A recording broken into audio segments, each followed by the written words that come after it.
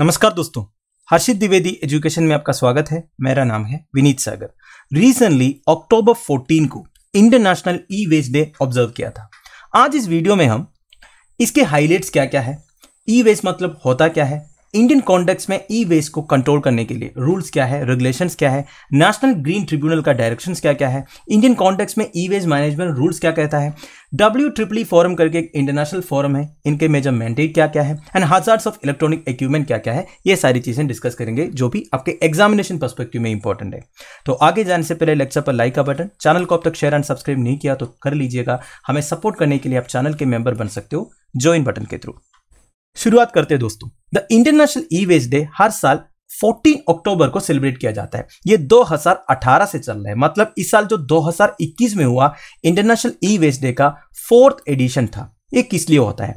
To promote the correct disposal of e waste आपको पता है कि टेक्नोलॉजी एडवांसमेंट की वजह से आजकल कई सारे इलेक्ट्रॉनिक इक्विपमेंट्स है मार्केट में। तो उसी तरह ये वेस्ट भी बन जाता है। लोग क्या करते हैं, एक बार इसका लाइफ खत्म होने के बाद फेंक देते हैं और ये ई वेस्ट बन जाता है। पर आप सबको ये भी पता है कि इलेक्ट्रॉनिक इक्विपमेंट्स में ऐसे कई सारे कंपोनेंट्स होता है जो रीयूज कर सकता है। तो इंटरनेशनल ई वेस्ट डे का मैंडेट ये है correct disposal of e waste को प्रमोट करना, इनका रीयूज रिकवरी एंड रीसाइकलिंग को प्रमोट करना।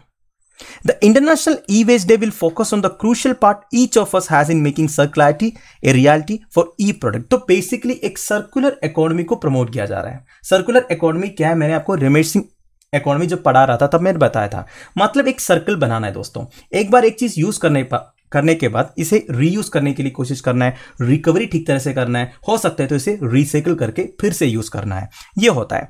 इस साल का जो 2021 इंटरनेशनल ई वेस्ट डे हुआ था, इसका थीम था consumer is the key to circular economy मतलब सर्कुलर इकोनॉमी वाला कॉन्सेप्ट को अगर हमें इंप्लीमेंट करना है तो उसमें की पार्ट प्ले करना है कंज्यूमर्स को। हम रिस्पॉन्सिबल होना चाहिए।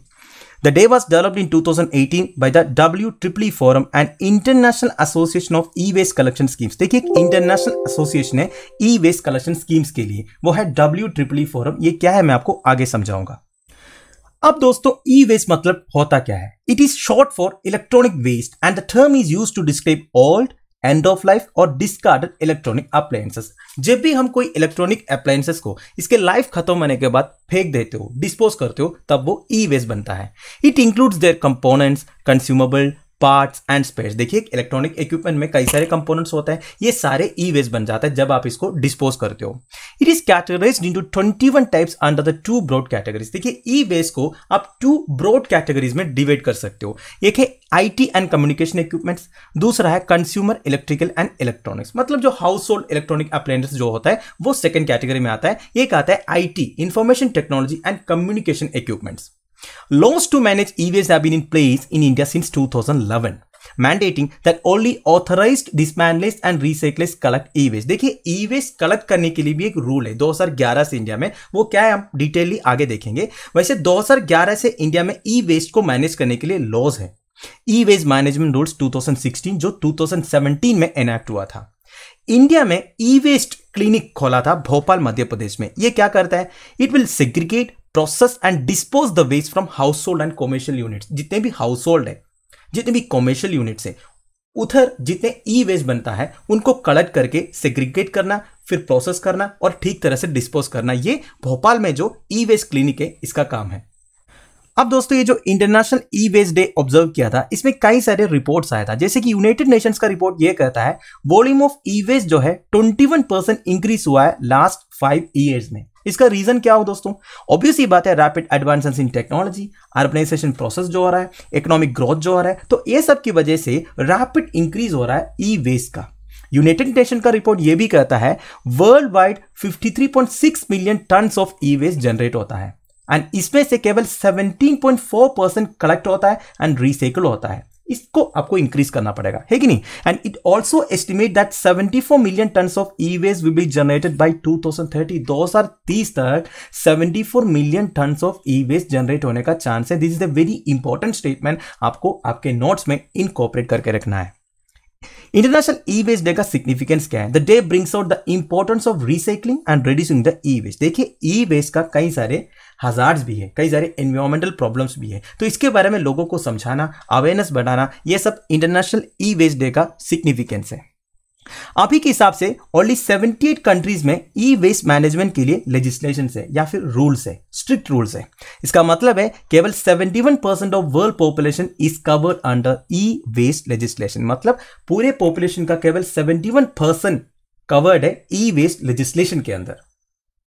अब दोस्तों e waste in India India 2019 में 3.2 million ton of e waste generate किया है। हमारे सेंट्रल पोल्यूशन कंट्रोल बोर्ड के अंदर 312 ई वेस्ट रिसाइकलिस रजिस्टर्ड है। मतलब हमारे देश में 312 ई वेस्ट रिसाइकलिंग कंपनीज़ हैं। 2016 में ministry of environment forest and climate change ने e waste management rules notify किया था। इसके अंदर क्या क्या मेजर प्रोविज़न है, मैं आपको आगे बताऊँगा। बेसिकली इसमें एक एक्सटेंडेड प्रोड्यूसर रिस्पॉन्सिबिलिटी के बारे में बात करते हैं। इसका मतलब यह है दोस्तों, जितना ई वेस्ट जनरेट होता है, इसकी रिस्पॉन्सिबिलिटी जो इलेक्ट्रॉनिक इक्विपमेंट प्रोड्यूस किया, उसके पास जाता है। ठीक है?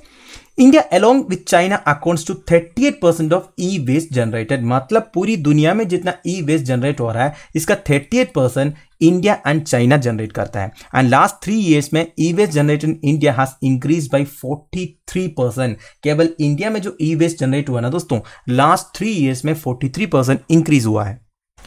अब दोस्तों ई वेस्ट मैनेजमेंट रूल्स 2016 का मेजर प्रोविज़न क्या क्या है? चेक करते हैं। ये नोटिफाई किया था ministry of environment forest and climate change की तरफ़ से। इससे पहले एक e waste management and handling rules हुआ करता था 2011 का। इसी रूल्स को ई वेस्ट मैनेजमेंट रूल्स 2016 ने सुपरसीड किया है। इसमें 21 प्रोडक्ट्स को इंक्लूड किया गया। स्पेशली बताना चाहिए compact fluorescent lamp and other mercury containing lamps को भी ई वेस्ट कैटेगरी में डाल दिया। अब ये भी कलेक्ट किया जाएगा।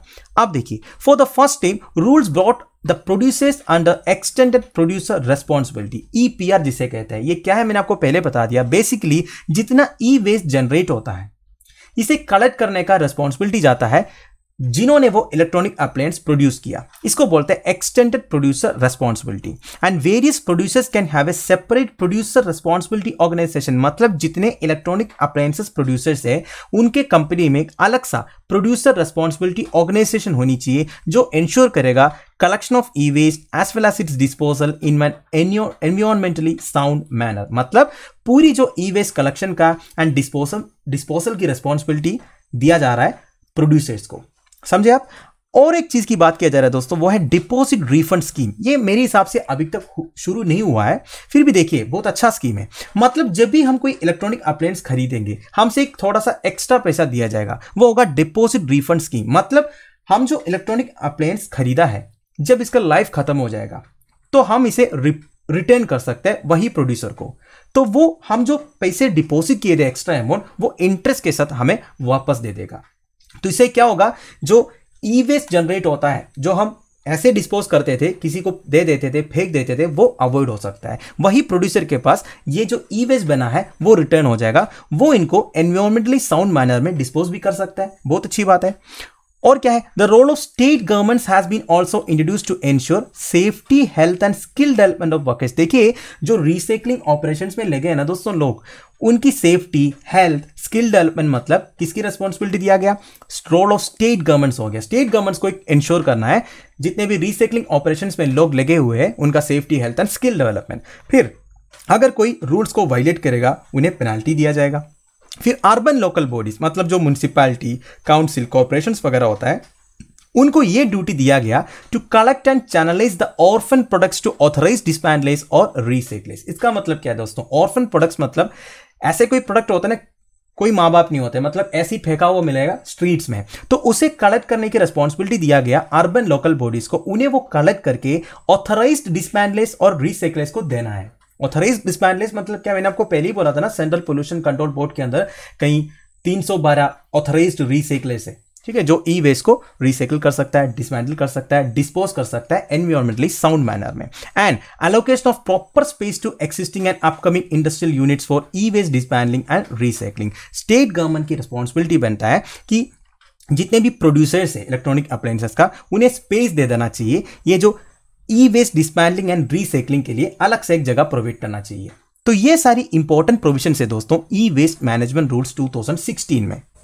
अब दोस्तों डब्ल्यू ट्रिपली फोरम के बारे में। This is the world's largest multinational centre of competence basically आप एक इंटरनेशनल फोरम बोल सकते हो for management of waste electrical and electronic equipment देखिए डब्ल्यू ट्रिपली का फुल फॉर्म क्या है? Waste electrical and electronic equipment ये एक not for profit association of 43 W triple E producer responsibility organisation है। देखिए, कई सारे कंट्रीज़ में W triple E producer responsibility organisation है। इन सबका एक एसोसिएशन बोल सकते हो डब्ल्यू ट्रिपली फोरम जो है।